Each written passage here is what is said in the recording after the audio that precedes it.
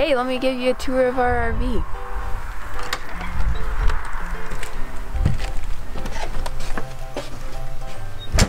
So there's not a whole lot to see as far as the number of rooms goes, but down here is where you sit to drive.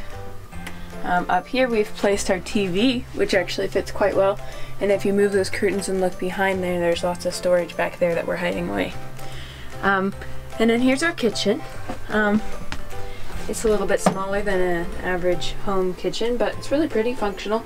Um, you can do extra counter space by flipping this up and having that there and pulling this out. So, you know, we're making it work. Um, as far as actual cupboard space, the biggest thing we lack is a pantry. But other than that, we've kind of made it work with the basics. There's some things that I've been missing, but um, just gotta live without those things. So, yeah, um, we're learning to use tubs for lots of things. We have tubs here, we have tubs down there under the dinette. Um, and then that does lead me to our dining room, which is here. Living room, which is there. Um, all within just a moment's reach. Convenient. Um, this is our fridge. And then I'll lead you over to the bathroom area, where we have a shower over here and a bathroom in here. This is our bathroom.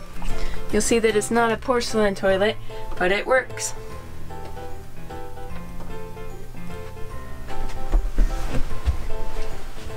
And then this here is our bedroom. Um, again, a little bit lacking in storage compared to what we'd be used to, but not bad. Um, and Hayden built, Hayden and Sam built this desk themselves, um, which really works out pretty well for them. So I think that's about all the rooms we have to show you. Um, but this is where we're living and we'll be living for the foreseeable future. So here it is. If you're interested in more of an in-depth tour of how the ins and outs of this all work, Hayden can do that for you right here.